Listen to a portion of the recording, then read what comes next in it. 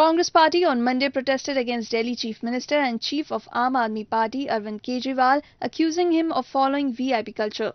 On Sunday, the venue where a special helpline was launched against corruption by Kejriwal had two exits for VIPs and VVIPs.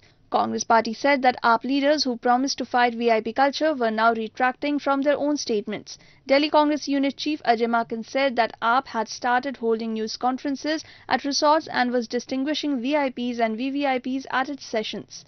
Protesters burnt effigy of Kejriwal and accused Delhi Deputy Chief Minister Manish Sisodia of enjoying VIP benefits. तो एक ऐसी party जिसका नाम आम आदमी party है, ज़ाहिर बात है कि इसलिए रखा गया कि उन्होंने कहा कि हम तो वीआईपी कल्चर के खिलाफ हैं, लेकिन हर चीज़ में वो वीआईपी कल्चर के साथ में। उनका डिप्टी चीफ मिनिस्टर ने मांग करके ऐसा ऐसा, ऐसी कोठी ली है जिसमें हमारी मुख्यमंत्री रहती थी। तो हमारे मुख्यमंत्री की कोठी में इनका डिप्टी चीफ मिनिस्टर, उप मुख्यमंत्री रह रहा है।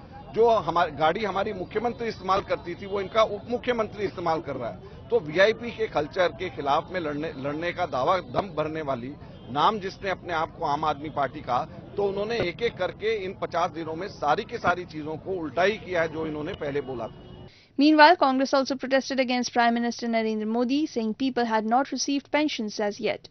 AAP to power in local elections held in the capital New Delhi in February, decimating Modi's Bharatiya Janata Party and casting doubts on the Hindu nationalist leader's popularity in the country.